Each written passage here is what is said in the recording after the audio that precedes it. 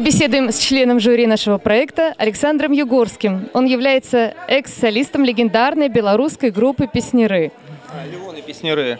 А, замечу, что несколько коллективов песнеров, и вот один из них под руководством Александра Демешко, это барабанщик из первого легендарного состава. Вот. А, была такая группа, она просуществовала несколько лет, но мы уже успели очень хорошо заявить о себе. Группа, которая была самая вот приближенная, наверное, к первому легендарному составу. Левон и Песнеры. Почему Левоны? Потому что это первое название песнеров. В переводе балагуры, весельчаки но потом им э, пришлось поменять название на более звучные песнеры, чтобы идти дальше в свой славный путь. Ну, ваш путь был э, славным, э, потому что вы даже получили звание «Хрустальный голос» и неоднократно. Вот об этом тоже немножечко расскажите. Это не случайно, когда человеку неоднократно присваивают такое звание? Ну да, вы знаете, а, а, хрустальным голосом я сначала становился по, по а, разным статьям в СМИ. Вот меня там любили называть «Хрустальный голос России», ну а потом как-то мне присудили номинацию «Хрустальный голос». Значит, на одном мероприятии, потом на, на втором. И вот как-то вот «Хрустальный голос», оно за мной и привязался. Я сам себе его не выдумывал.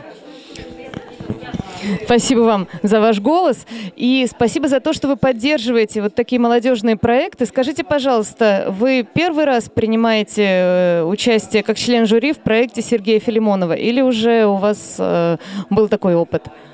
А, вообще опыт был у меня именно как член жюри там, на разных конкурсах вокальных.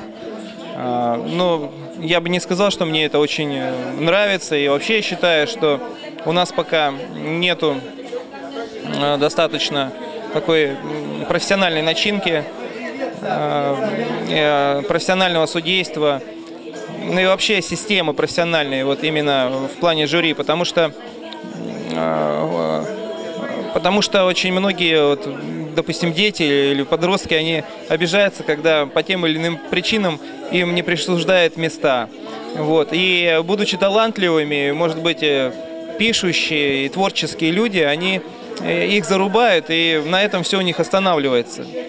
Вот. Поэтому, вот, э, поговорив с Сергеем Филимоновым, мы пришли к выводу, что, в принципе, здесь я могу у него поучаствовать, потому что это более такой лояльный, интересный конкурс, где действительно мы прослеживаем творческих, интересных и талантливых людей, которым, возможно, э, по заслугам мы уже дадим ход в будущее. И я считаю, что правильного конкурса, вот сформированного, чтобы все было вот как надо, ну, ну его пока что еще даже вот у нас в России нету, не придуманы еще такие правила и такие конкурсы. А, но я занимаюсь этим. Обязательно я такой конкурс сделаю. Наверное, это будет больше фестиваль, фестиваль талантов, где все будут рады и счастливы по итогам.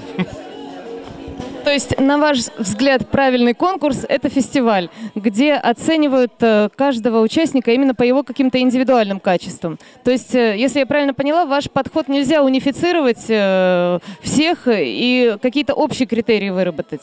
Именно поэтому. Вот у вас какие критерии, когда вы оцениваете? Вы знаете, вообще, если честно, талант вот именно вот таких душ спущенных Господом Богом на землю для того, чтобы оздоравливать, э, делать лучше наши души. Их не так и много, вот настоящих, истинных певцов. Э, такие души, ну их может быть, я не знаю, там до, до сотни в каждой стране, но не больше, да их и не должно быть больше. И именно вот эти вот люди, и они являются вот этим, так сказать, вот лечащим таким э, эликсиром э, для нас. То есть это есть врачи, да, есть вот те, кто вот лечит души, да, своими э, красивыми тембрами голоса, своими песнями. Вот, и я считаю, что вообще конкурсов-то среди них делать и не нужно даже. Вот если честно, мое мнение. Среди спортсменов, да, это, это совершенно другая категория людей. Там соревновательный уровень, он необходим. Вот здесь соревновательного уровня не должно быть.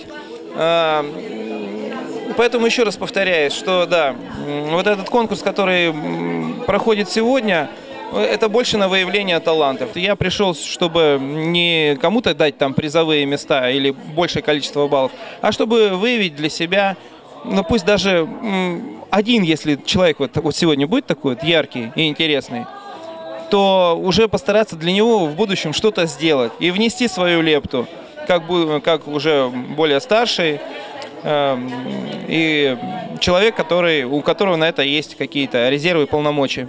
Вот поэтому вот с Сергеем Филимоновым, я думаю, что мы таких людей сегодня обязательно выявим. Спасибо большое вам. Спасибо большое и спасибо за то, что вы все-таки будете присматривать здесь на проекте «Шаг со звездой» э, участников для своего будущего проекта. Успехов вам! Спасибо, что вы сегодня с нами.